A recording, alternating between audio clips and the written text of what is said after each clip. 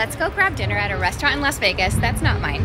This place has only been open for about a month. It's called The Sundry, and it's Vegas's first food hall.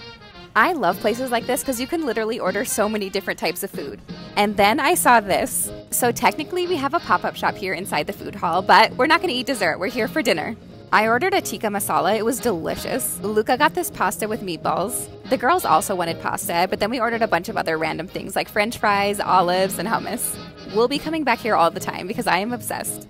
Right next to our table was this place where they make ice cream right in front of you with nitrogens, and Sophie's like, I have to have one. Then Lucas sneakily ordered a donut because he said he's never tried the dulce de leche.